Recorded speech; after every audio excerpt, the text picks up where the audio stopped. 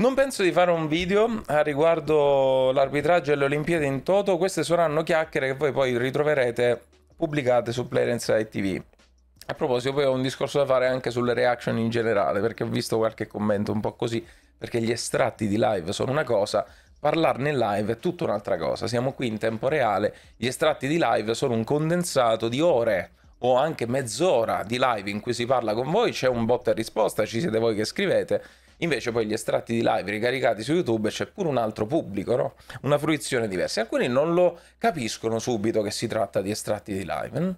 Non lo capisco, pensano che si... Alcuni mi hanno scritto, ma eh, adesso fai solo reaction, ma è il quarto canale, amico mio. Puoi anche non essere iscritto, però mi fa piacere se lo sei. Ma il quarto canale sono estratti di live. È come dire che Midra fa solo Fallout, no? Eh, no. Oh, ci arriviamo, ci arriviamo. Cos'è successo, ragazzi? Che in buona sostanza, Imane Kelif sarebbe, a quanto pare, perché non ci possiamo fidare assolutamente più neanche di ciò che ci riporta la stampa. Anzi, a maggior ragione non ci possiamo e non ci dobbiamo fidare di ciò che ci riporta la stampa. Dobbiamo sempre noi scavare a fondo nelle notizie, incrociare le notizie prima di dare la nostra opinione sparata a mille. Ma se dobbiamo sparare a mille, soprattutto sui soggetti interessati, allora dobbiamo informarci. Perché se no rischiamo di fare brutte, bruttissime figure. È un dovere giornalistico, ma prima ancora è un dovere umano, etico, deontologico sì, ma etico e morale prima ancora che deontologico. Okay? Angela Carini si ritira dopo 45 secondi contro i Mane Kelif. Fa malissimo, poi scoppia in lacrime. La cosa fa malissimo, mi fa un po' ridere. mi, fa, mi fa ridere, si è fatta proprio male. Vabbè. Grazie Matteo Procopio. No, non del fatto che si sia fatta male lei. Mi, mi, fa ridere che abbia detto Madonna fa malissimo, tipo è fortissima. Ok. Intersessualità è un termine ombrello usato per descrivere quelle persone che hanno caratteri sessuali primari e o secondari non definibili come esclusivamente maschili o femminili, che possono comprendere variazioni fisiche rispetto ai genitali, alle gonadi, ai marker genetici, agli ormoni, ai cromosomi agli organi riproduttivi.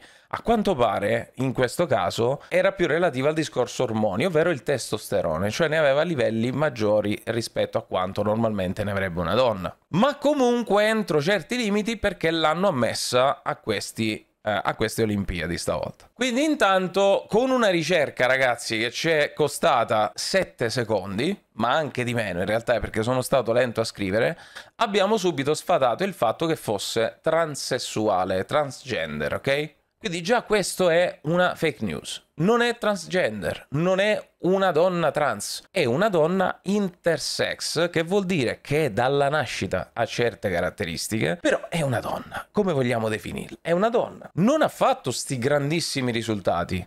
Perché, per esempio, nelle scorse Olimpiadi le ha prese della grossa. Quando si dice, eh, però sembra un uomo. Ma che cazzo vuol dire sembra un uomo? Ma, ma, che vuol dire? Allora, ai campionati mondiali di pugilato dilettanti femminili 2018 ha partecipato per la prima volta classificandosi al diciassettesimo posto, dopo essere stata eliminata al primo round. Ha rappresentato l'Algeria ai campionati mondiali di pugilato dilettanti femminili 2019 dove si è classificata al 33esimo posto, dopo essere stata eliminata al primo round. Khelif ha rappresentato l'Algeria alle Olimpiadi estive di Tokyo 2020 nel 2021 dove è stata sconfitta dall'irlandese Kelly Harrington nei quarti di finale, quindi neanche in finale. Io mi ricordavo in finale, quindi nei quarti di finale. E allora cos'è successo? Che c'è stato un grande vociare prima e quest'uomo, gli uomini non possono combattere con le donne, che sarebbe tutto un altro discorso. Io posso anche essere d'accordo sul discorso uomini, anzi sono d'accordo sul fatto che uomini e donne a livello muscolare siano diversi e che far competere in uno sport specialmente molto fisico e di contatto come il pugilato un uomo con una donna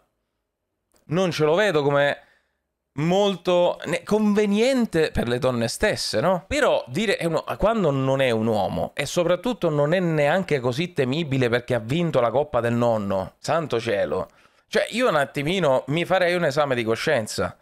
Abbiamo fatto vincere pregiudizi e Angela Carini, col suo ritiro, ha fatto vincere pregiudizi. Perché posso anche crederci che lei si sia impegnata, però l'ho vista alla fine che diceva non è giusto, non è giusto, gridandolo. Se dici non è giusto, allora che cosa non è giusto, Angela? Che cosa non è giusto? Se poi nell'intervista dici no, vabbè, è che io è che ho preso un pugno in faccia, è che mi faceva male il naso.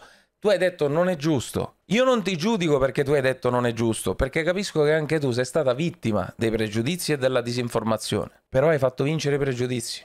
Prendevi le botte, se proprio le volevi prendere, gliele davi, a, provavi a dargliele e basta. E perdevi casomai. Ma anche perché se la Carini avesse voluto mandare un messaggio politico, non si sarebbe presentata. Emma Raiden così poi non la facevano partecipare alle prossime Olimpiadi. I messaggi sono messaggi, i principi sono principi. E tu ti giochi una cosa, sacrifichi una cosa per i tuoi principi. Non che ti presenti e poi dici non è giusto, però effettivamente da botte forte questa. Eh? Mm, mm. O no? Perché il momento in cui tu dici non è giusto, non è giusto, dopo che hai preso quattro pugni, che dal mio punto di vista... Oh, Forti erano forti, ma insomma, eh, non lo so, sarà che dal suo punto di vista erano più forti, ma non mi sono sembrate, sembrate queste sassate clamorose, eh? E poi non ha salutato l'avversario. Inoltre, esatto, quello che dice Ludwig, a quanto pare esistono anche cure di doping, torno un attimo da voi, cure di doping permesse, non chiamiamole doping, ma in questo caso di testosterone, per abbassare il testosterone. A quanto pare rispetto ai vecchi test, oggi ha anche abbassato il suo livello di testosterone, Imane Calif e quindi per questo poteva, poteva competere, no? Angela Carini vorrei capire, voleva lanciare un messaggio? Non ha lanciato un messaggio secondo me, perché alla fine un messaggio... Allora, ha lanciato più involontariamente un messaggio la Benedetta Pilato. E adesso ci arriviamo. Ma la Carini ha semplicemente splittato il, mess- il messaggio. Cioè, quelli che l'hanno eletta eroina della situazione, della patria, dello sport giusto perché è femminile, è giusto così, uomini e donne non possono combattere. Ragazzi, ho, trovato una pagina in cui c'era un link in cui c'era un sacco di gente che scriveva proprio cose schifose sui Mane Calif, eh, eh, Calif, come se alla fine va bene, cioè qualcuno l'ha questo per questo ti dicevo Marco Vez, eh, qualcuno l'ha ammessa, sì, da quel punto in poi non è più colpa della Calif se è alle Olimpiadi. Non è più colpa sua qualora fosse stata mai una colpa, ok? Qualcuno l'ha ammessa? Sì. Lei quindi era le- eh, legittimata ad essere lì? Sì. Da lì in poi perché offendere i Mane Calif? Prendetevela col cio. No ragazzi, ho letto lo schifo sui Mane Calif, lo schifo. Da chi poi io per curiosità sono andato a curiosare, nella propria bacheca aveva Gesù il Salvatore, Gesù il Signore, viva la Chiesa, viva Dio, viva la Madonna. La tolleranza che insegna la religione cristiana l'abbiamo buttata alle ortiche, no? Quindi perché insistere ancora su sta cosa? No, però è un uomo, no, ma guarda che non è un uomo perché è intersex, non mi interessa ma sembra un uomo, non è una risposta. Oh, bravo Liax Uzi, l'unica cosa cui, di cui scientemente si può discutere è, essendo intersex, ha vantaggi rispetto a una donna a livello di forza muscolare? Bravo, ma bravo ma anche wow, abbiamo scoperto, cioè abbiamo fatto ridere i cazzi è normale che l'unica domanda dovrebbe essere questa. No, è un uomo di merda. No, è una trans. A cui è un trans, perché non gli frega un cazzo. No, non è giusto, gli uomini non devono combattere gli uomini. Appena gliel'hai fatto notare, ma sembra un uomo. Questa non è discussione, ragazzi.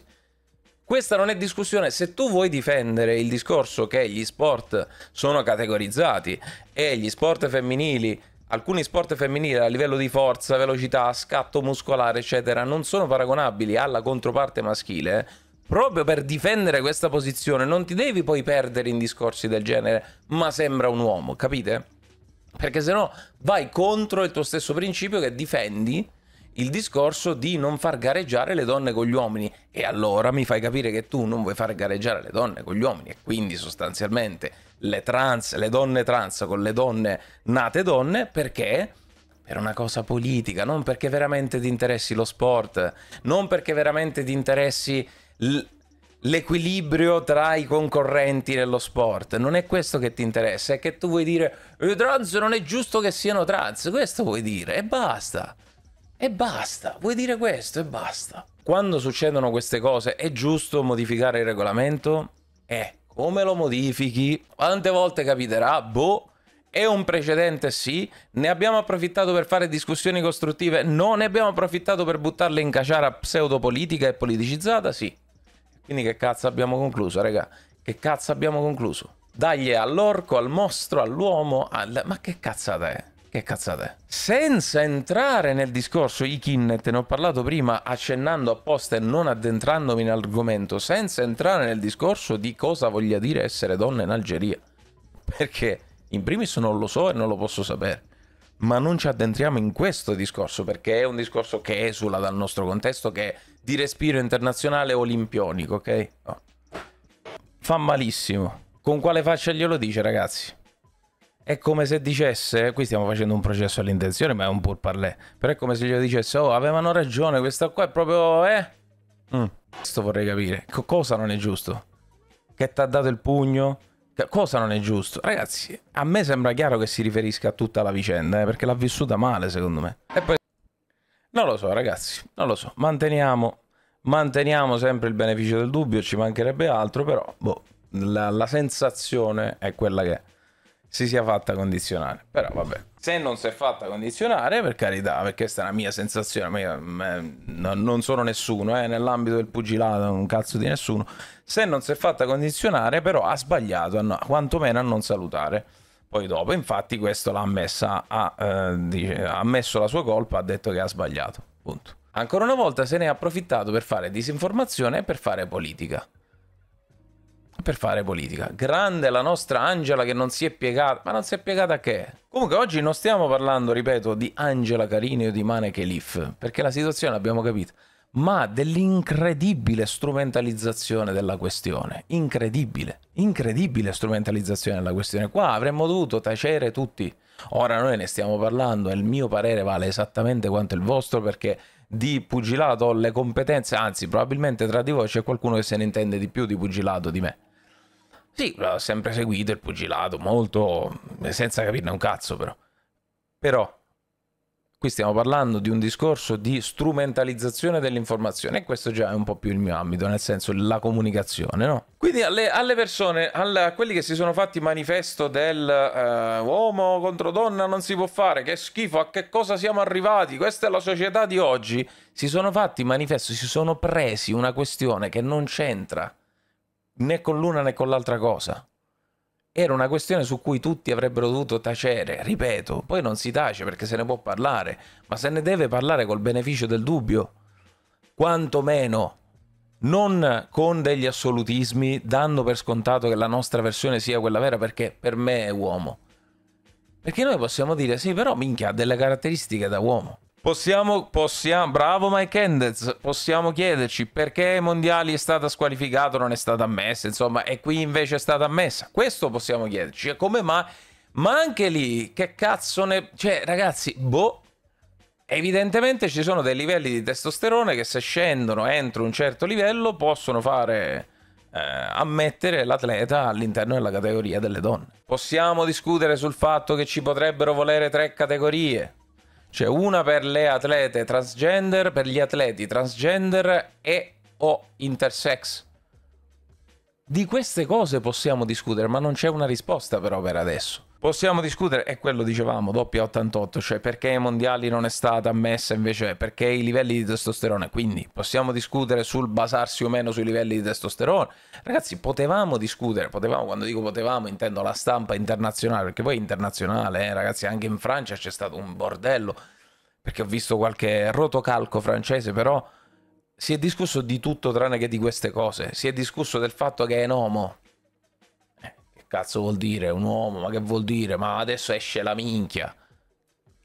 Che non ce l'ha, tra l'altro. Cioè, si è discusso di ste, pic- di, di ste cose piccole.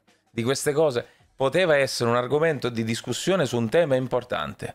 Come gli atleti transgender, come gli atleti intersex, evidentemente no, si è banalizzato la cosa e si è ridotto a una lotta politica tra destra e sinistra, quelli che ne pensano una cosa, no, è giusto includere tutti, oppure no, vaffanculo, gli uomini non devono gareggiare con le donne. E basta ragazzi, Fini, finita qui la mia, la mia, scorta di opinioni sulla questione. Eh. Al solito io tendo ad essere eh, abbastanza equilibrato, però a modo mio mi sono schierato contro chi ha eh, incolpato tutto e tutti, perché secondo me non era proprio il caso di farlo.